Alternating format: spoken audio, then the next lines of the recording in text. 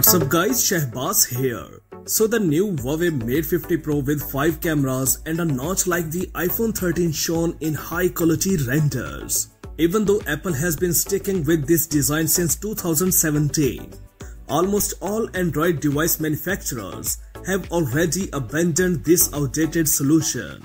A Chinese source has published 3D CAD renders of the Huawei Mate 50 Pro flagship smartphone based on the latest leaks.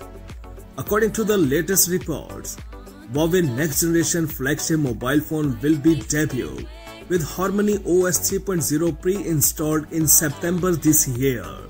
Earlier it was reported that Huawei Mate 50 and Huawei Mate 50 Pro will be equipped with Snapdragon 8 Gen 1 4G single chip system. New smartphone should get better cameras compared to Huawei P50 smartphones.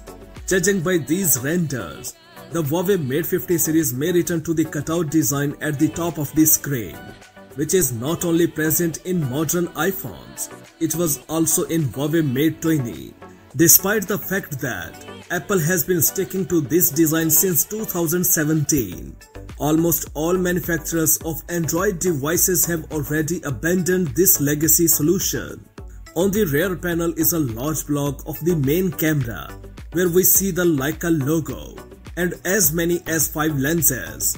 3 modules are located on the upper circle, 2 more lenses in the lower one.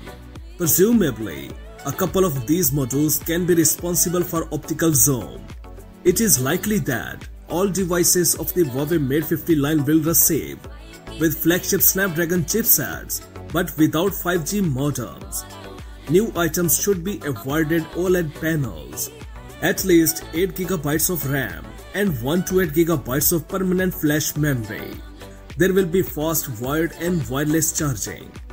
Huawei, which has been under US sanction for the past couple of years and cannot use 5G equipment for its devices, has not yet made statements regarding to the release date of the Huawei Mate 50 series.